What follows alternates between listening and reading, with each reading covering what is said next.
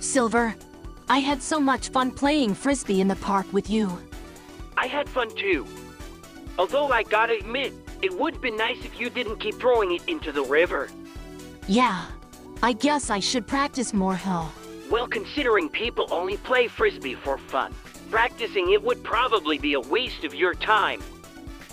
He plays. I was talking to Sonic the other day, and apparently part of the reason he doesn't want to go out with me is because my farts smell like rotten chili dogs.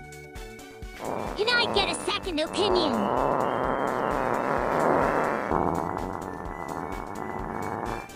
Blaze, did you just fart?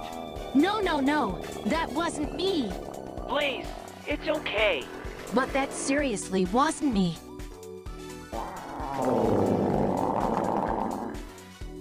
Okay, that one was me.